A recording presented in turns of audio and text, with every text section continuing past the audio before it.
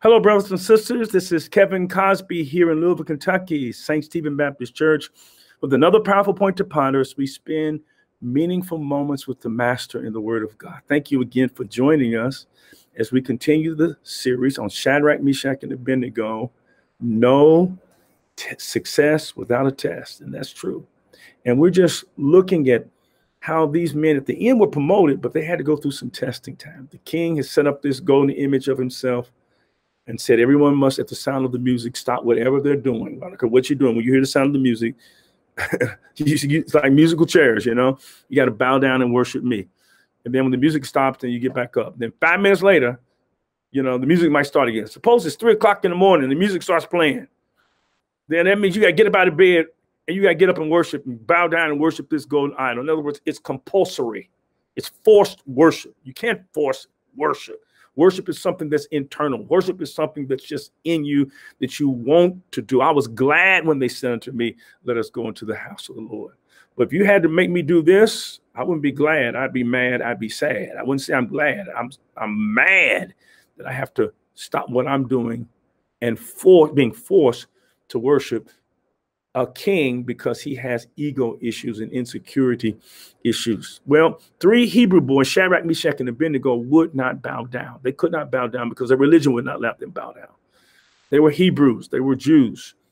And these Jews knew that the word of God said, that you're not supposed to have any other God before the true and living God. And secondly, you're not supposed to make any graven image of God. And the reason you're not supposed to make any graven image of God is because anytime we try to create God in our image, we always reduce God we reduce God, we make God small, and God cannot be conceptualized. God is beyond our imagination. God's ways are not our ways, and God's thoughts are not our thoughts. As far as the heaven is above the earth, so is God's ways above our ways. So the king said, Bow down. Everybody bow down. They would not. Their co-workers snitched on them, told the king, because these were men who were prominent, Shadrach, Meshach, and Abednego in their 30s, Jews, but they had gone up the ladder in terms of authority. They were in positions of influence in the king's administration. And their co-workers snitched on them because they wanted to take their place. People will do that to you. They'll undermine you. Some people are so aspirational, they have no ethics. They will undermine you and do whatever they have to do in order to displace you. But what God has for you, God has for you. Amen. So the king gives him an ultimatum. He says, You either bow or you will be thrown into the fiery furnace. And then he says, And what God can rescue you? Which means that the king is really challenging the power of God. God. Well, let's see, see how they respond to the king's second chance for them to bow down and worship the golden idol. Verse 16 says this Shadrach, Meshach, and Abednego replied to him, King Nebuchadnezzar, we do not need to defend ourselves before you in this matter. If we are thrown into the blazing furnace, the God we serve, remember, he just asked, What God is able to deliver you? And listen to what they say in response. If we are thrown into the blazing furnace, the God we serve is able to deliver us from it and he will deliver us from your majesty's hands. But even if he does not, we want you to know, your majesty, that we will not serve your gods or worship the image of gold you have set up. Then Nebuchadnezzar was furious with Shadrach, Meshach, and Abednego, and his attitude towards them changed. He ordered the furnace heated seven times hotter than usual. So their response is this First of all, they would not bow initially. They would not bow initially. And not only would they not bow, they would not bend. King told them, I'm giving you another chance. Uh, and they would not bend. And they won't break. They won't bow. They won't bend. They won't break because they are men of conviction. Men of conviction. Now, uh, how do you respond when powerful people try to pressure you? Believe me, as the president of a historical black college and university, I have to deal with philanthropy. And philanthropy, 90% uh, of it is, is white controlled. So all the wealth is in the hands of white America. And if I would bow and bend to the will of philanthropy, which is not in the best interest of black people, then they'll may give me some crumbs that fall from their table. Uh, you see, power is this: if if if if person A is able to make person B do what person B does not want to do, then person A has power over person person person B, and it's all about power. Listen to me. You may lose everything, but one thing you should never lose is your dignity. One thing you should never lose is your dignity. Let them take it. Some things are not worth having if you have to lose your dignity in order to have it. Notice how these Hebrew boys responded to the threat of the most powerful man in the world. First of all, they say this they say, uh, We're not going to defend ourselves. Those in verse 16, it says, Shadrach, Meshach, and Abednego replied to him, King Nebuchadnezzar, we do not need to defend ourselves before you in this matter. Quit thinking that you have to defend yourself or you have to explain to folk your convictions or you got to convince folk uh, of why what you're doing is right. Hear me and hear me good. When people don't want to be convinced, they will not be convinced. So don't try to spend your time convincing somebody who refused to be convinced. If people believe which which our society teaches that black people are inferior and you're trying to prove that no i'm not inferior. I can show you what i can do. I don't care if you get a phd when they see you a certain way as an inferior person because of your color there is nothing you can do to convince them of that of, of anything otherwise so don't worry about convincing people who don't want to be convinced. It's a waste of emotion, a waste of time. Take them off your mind, forget the king, go on. He says, We're not going to defend ourselves in this matter because it will not make a difference because you've got your mind made up.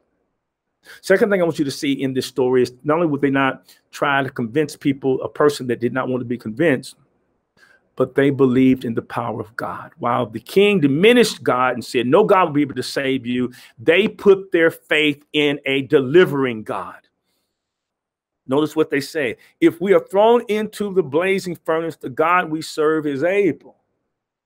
Our God is able. And everything in the Bible is a testimony to the ableness of God.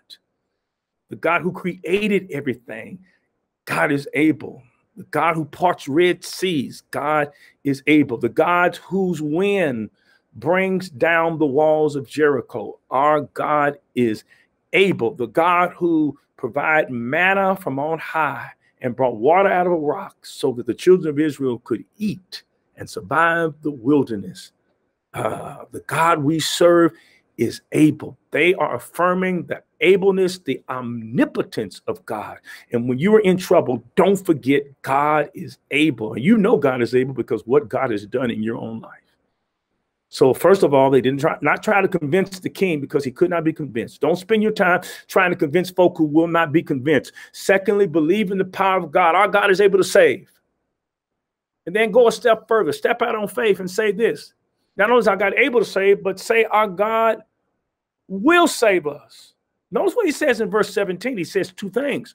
If we are thrown into the blazing, into the blazing furnace, the God we serve is able to deliver us from it, and he will deliver us from your majesty's hands. Not only believe God is able, believe God's going to do it.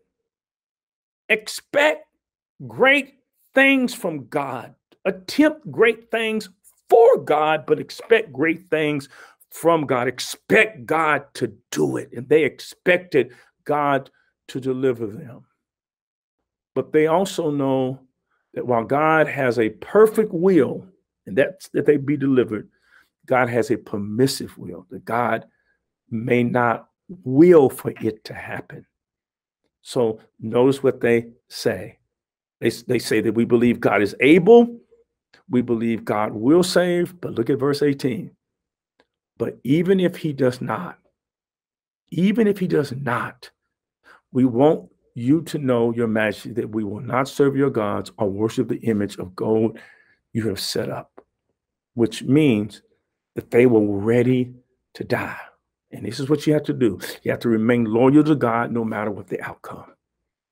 No matter what the outcome, you say, I'm going to remain loyal to God. And when the king heard this, I mean, the king loses it. I mean, he says, uh, heat up the furnace seven times hotter, seven times hotter than usual. Oh my God. Now, listen, as I close this teaching, let me let me share something with you. And that is that sometimes God saves us from a crisis. In other words, God could have easily saved them from the crisis by detouring them around the fiery furnace. And sometimes we get saved from some stuff that could have happened, but it didn't happen because God detoured us. We don't know how many times God detoured us around some troubles. We don't know because the trouble never happened. So sometimes God saves us from a fiery furnace by sending us around it. And we didn't even know that we were getting ready to step in the fiery furnace. That's how God delivers. And then sometimes God saves us not from the crisis or the fire furnace, God saves us through the crisis, which is to say, that God lets us go through something, but we come out of it. We come out of it. We eventually go through it, but we come out. Yea, though I walk through the valley of the shadow of death. Sometimes God saves us from the crisis. Sometimes God saves us through the crisis.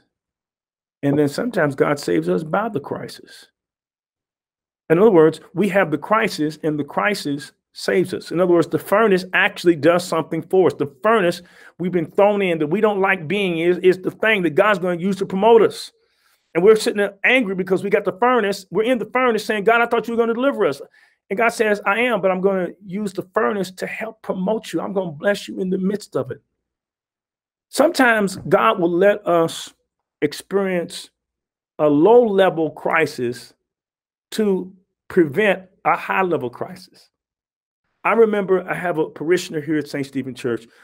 She had a new car. She has a car accident. Somebody runs into her car and she, her car is damaged, but more importantly, she's got problems. She's turning her neck. And she's upset because her neck is hurting and the car has it's, it's a new car is is in dam has been damaged. So she goes to the hospital and uh, the hospital, they check her out. And guess what? To her unbeknownst, she had such high blood pressure that she was at stroke level. And they admitted her to the hospital. She had this blood pressure problem and didn't know it. And they admitted her to the hospital, not because she had a bad neck, but because she had blood pressure problems. Which is to say that the car accident was bad. Yeah, the neck hurting is bad. But if she had not had the car accident and if her neck had not hurt, then she was a candidate for stroke and death, which means that God used one crisis to save her from a bigger crisis that she didn't see. And sometimes God will save us by sending us around the furnace. Sometimes God will get us through the furnace. Then God will say, I'm going to let you spend some time in the furnace because I'm going to use this furnace time to promote you. Hallelujah. And sometimes God will let some crisis that seems big at the time happen to avert some bigger crisis later on, and we don't see it. That's why we have to be patient and trust God. So don't forget, don't try to defend yourself against people who don't won't hear you. Believe God can save you. Our God is able. Believe God will do it. But if not, be a person of conviction not of convenience, and say, We will not bow. We will not bow, and we will not bend, and we will not break. Let's pray together. Heavenly Father, thank you for your word today, and bless your people. Bless your people, especially someone who is hurting right now and needed to hear this word today in Jesus' name. Amen. God bless you. Thank you so much for being with me. Another powerful point to ponder. Look, if you don't have a church home, I'd like to extend an invitation to you to become a part of St. Stephen Church. Contact us here at St. Stephen Church. Email us, new start, new start at ssclive.org, and we'll get right back with you. Look, we'll pick up on this theme tomorrow, but until then, during COVID 19, stay safe, stay sane, and don't forget, God is still in control. I'll see you tomorrow.